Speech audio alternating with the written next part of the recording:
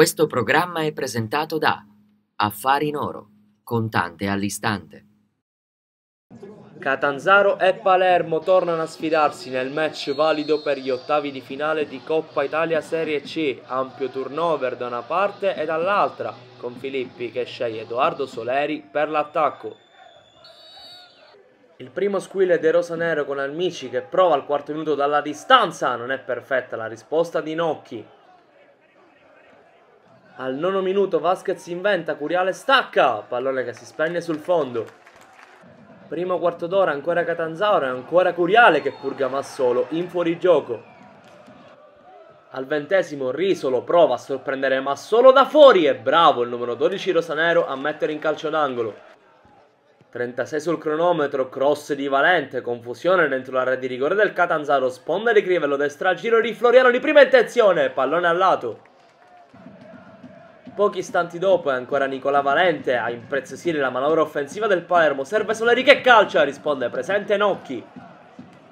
La seconda frazione di gioco riparte con il possesso palla del Catanzaro che con Ortisi dalla lunga distanza prova a impensierire così Samuele Massolo costretto agli straordinari.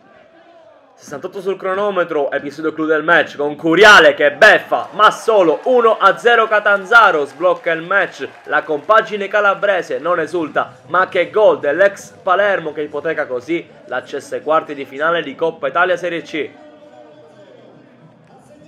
Al 72 Soleri, dopo una percussione scarica per Andrea Silipo che dalla sua mattonella calcia con il sinistro a giro, pallone che sorvola l'incrocio dei pali. All'82esimo si infrangono le speranze del Palermo con questa conclusione di Matteo Brunoni che dalla distanza calcia alto sopra la traversa.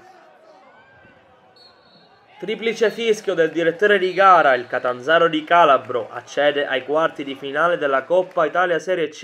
I rosanero salutano, oltre che i propri tifosi, anche la nota competizione.